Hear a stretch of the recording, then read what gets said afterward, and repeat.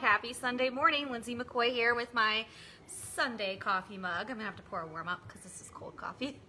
It's a rule. I don't drink coffee cold if it's cold outside. Unlike some coworkers I have behind the scenes. Okay, so do you like your coffee hot or cold? That's the big debate this morning here in our studio. Uh, good morning to you. Hopefully you're joining us from somewhere nice and cozy like your living room and you're nice and warm because it is a really cold start. Um, this is the second day in a row I had to use my heater in my car on the way here. My SUV, whatever. I don't really drive a car, I drive an SUV because it snows here all the time. Yeah, us Northeast Ohio natives, we know how it goes. So hopefully we don't have that four letter word in our newscast anytime soon can't promise any others. But uh, okay, so coming up on the show this morning, we're going to talk a little bit about the local wine industry.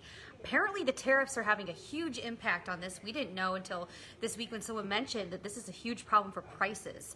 So I don't know if it's passing on to the consumers as much as it is to the local merchants and the local vintners. That's what they're called. Uh, so we're going to talk to someone who's really well known in the area about that. Also, we are diving deep into the debate this week over those dreaded masks. I know I don't like wearing them as much as you do.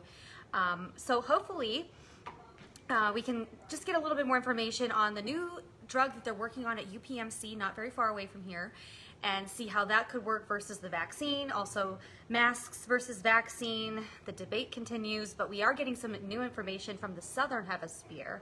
Now, the Southern Hemisphere uh, records their data on the flu season, and we kind of look at them for a gauge to see and expect what we can have here in the Northeast and um, in the Northern Hemisphere, especially here in the U.S. So when we look at the data over the years in reporting, I've learned that that is kind of like our gauge. It's not always a, a telltale sign, but it's possibly an indicator.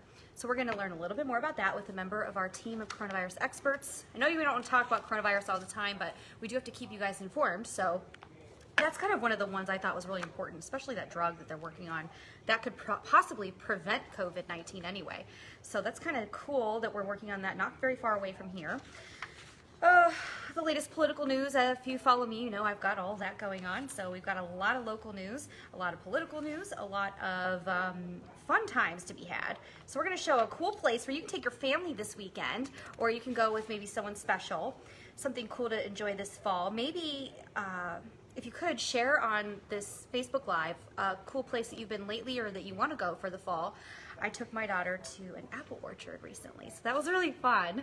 I hadn't been in a long time. We read a book about pumpkins, and then we went and saw the pumpkins and saw the apples on the trees and had apple cider. And it just took me back to when I was little, and it was just so fun. Oh, we got to do it more. So I can't wait to just have a few more fun times before, you know, the weather turns. And I love fall. I'm starting to see the leaves change. It's so beautiful. It's my favorite season ever. So, um, yeah, I just can't wait.